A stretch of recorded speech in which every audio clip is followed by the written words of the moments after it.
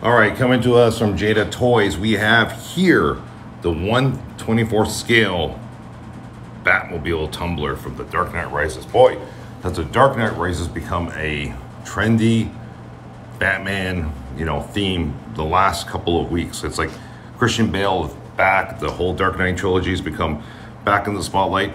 Maybe what's going on? Is there going to be Christian Bale coming back? Hmm. I think I'd like to see Christian Bale back one more time.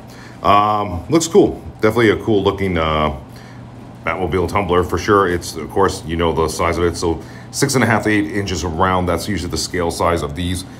Excuse me like the way it looks. It looks like it comes with a little Batman 2, Dark Knight Batman Christian Bale, so you can put them inside. It's cool that you can lift it as well. They're saying it's a New York Comic Con exclusive, but again, everyone's saying that, and you know, if you don't pick it up there, then whatever's left over, if they give the green light to manufacture more, you'll be able to get it. So stay tuned. Let's see what happens. And uh, link in the description of the video to Jada Toys. If you really want to get it, send them a message and see what they say. Take care.